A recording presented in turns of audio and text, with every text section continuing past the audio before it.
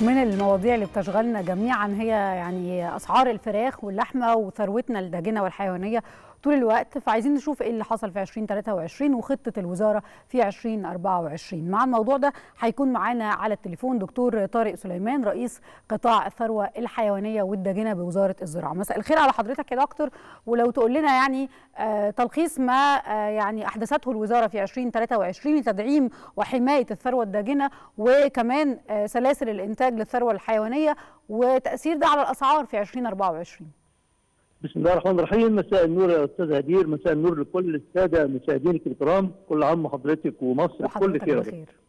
آه، إحنا شايفين اهتمام غير مسبوق يمكن من القيادة السياسية بالتنميه المستدامة لثرواتنا الحيوانيه والداجنه منذ 2014 لغاية وقتنا هذا يمكن دوت راجع للزيادة السكانية المتلاحقه والمتعاقبة والتي فيها زيادة في تعداد آه، رؤوس آه، المواشي ورؤوس ثرواتنا الحيوانيه.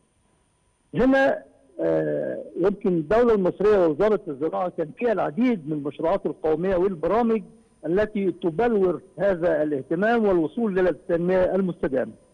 عايز أقول لحضرتك النهاردة إحنا وصلنا الحمد لله في اللحوم الحمراء إلى اكتفاء ذاتي تخطى 60% بعد ما كان 40% فقط في 2014 وصلنا لاكتفاء ذاتي بنسبة 100% بالنسبة للبن الشرب السائل أو الطازج بل نصدر ما يزيد عن احتياجاتنا للخارج 100% من الدواجن 100% من بيض المياه. طبعا هذه المشروعات والبرامج اللي هقولها لحضرتك في عجالة كان الغرض منها اولا مواكبة الزيادة السكانية زي ما قلت لحضرتك المتزايدة والمتلاحقه.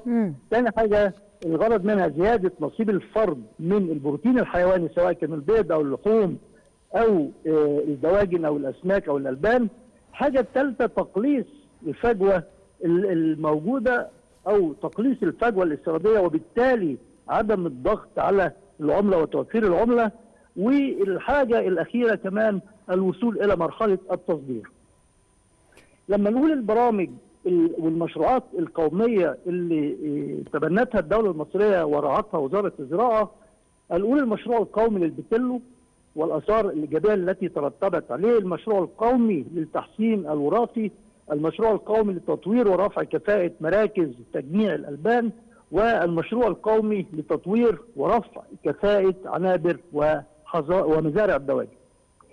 المشروع القومي للبتلو في عجالة كان يسمح فيما قبل بذبح العجول التسمين صغيرة السن اللي هي أقل من 100 كيلو جرام ودي كانت بتبقى نسبة تصافيها منخفضة بيبقى الراس أو الحيوان الواحد فقط بيدينا حوالي 30 كيلو جرام من اللحوم بضوابط وقرارات وزارة الزراعة منع ذبح الحيوان وذبح البتلو في هذا العمر والسماح للتسمين إلى ما يزيد عن 400 كيلو جرام على الأقل وبالتالي هنا تنميه راسيه والحفاظ على ثرواتنا الحيوانية من الإهدار. ويمكن. حاليا يا دكتور طارق إيه تحديات هذه الصناعة؟ يعني يعني مسألة إن إحنا نحقق الاكتفاء الذاتي آه، نحافظ على آه، رؤوس الماشيه آه، ما يحصلش أزمة أعلاف تاني. وبالمناسبة أزمة الأعلاف كده تعتبر خلاص انتهت وما عندناش أي أزمات أعلاف في 2024 أنا لو حضرتك أكيد متابعة يمكن معانا أزمة الأعلاف. تم إدارة ملف أزمة الأعلاف على أعلى مستوى فخامه رئيس الجمهورية. كان بيتابعه على مدار الساعة صحيح. بالتنسيق ما بين وزارة الزراعة ومحافظ البنك المركزي. تم تدبير العملات اللازمة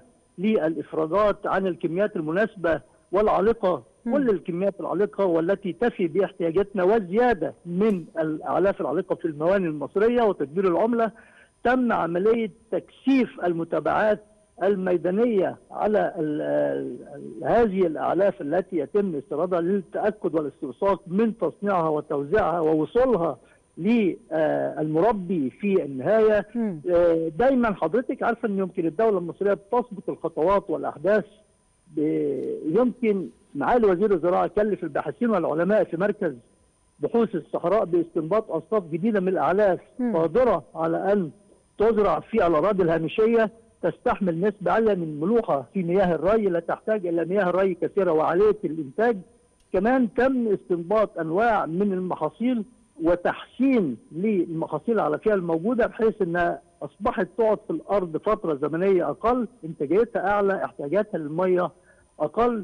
كمان عملية تفعيل الزراعات التعاقدية التي حدثت العام الماضي والسنة دي أصبح الفلاح دلوقتي بيزرع بسعر ضمان وسعر آمن بالنسبة له وبالتالي زادت المساحات المنزرعه من هذه المحاصيل الهامة الاستراتيجية العلفية سواء كانت الذرة أو الصويا أو عباد أو دوار الشمس كمان تم عملية تكثيف المتابعات الميدانية على صناعة الأعلاف وتداولها للاطمئنان على الحصول على أعلاف تحقق أعلى معدلات أداء مم. وبسعر أفضل وبسعر آمن كل هذه طب ده يا دكتور طارق المفروض ينعكس على أسعار الفراخ والبيض واللحوم وإحنا كمان في موسم. أعياد فدايما بيبقى في علاقة شوية ما بين الأعياد بعض التجار بيستغلوا الموضوع ده ويرفعوا السعر فلو الأسواق مستقرة تلاقي تأثير في الأسواق طيب أنا عايز أقول فيما يتعلق بالأسعار حاجتين أول حاجة يمكن على مستوى دول العالم مم. حينما تزداد مصروفات التشغيل وتكاليف الإنتاج وبالتحديد التي ترتبط بصناعه الاعلاف وإحنا عارفين إن الاعلاف لوحدها تمثل حوالي يمكن 70% و80% كمان من جملة مصروفات التشغيل وتكاليف إنتاج أي عملية تتعلق بالثروة الحيوانية والدجاج. حينما تزداد هذه المصروفات في أي دولة في العالم تزداد أيضا على المستهلك النهائي وعلى المنتج النهائي. يمكن هذه عناصر الإنتاج هذه تزايدت بقدر وصل ل 400% 200% 300% في بعض العناصر.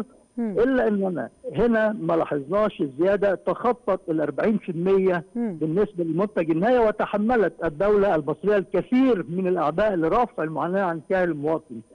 الحاجة الثانية عايز أقول لحضرتك إن إحنا لازم يكون عندنا ثقافة كمستهلكين هجر المنفذ التسويقي الذي يبالغ في السعر بتاعه.